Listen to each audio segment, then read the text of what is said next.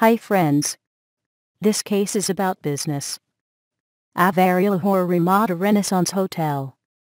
In January 2016, Mr. Tahir Azamian, Assistant Sales and Advertising and Marketing Business Manager at the Avari Hotel Lahore, up until 1994 understood and run as the Avari Lahore Ramada Renaissance Hotel, was worried about the typical space rate at the hotel.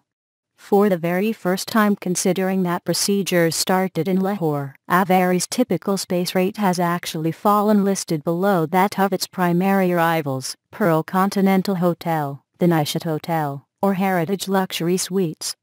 Tahir experienced that he had to reevaluate Avari's present rates policy if you want to establish a strategy to treat the circumstance prior to the start of the brand new year. Thanks for watching this video.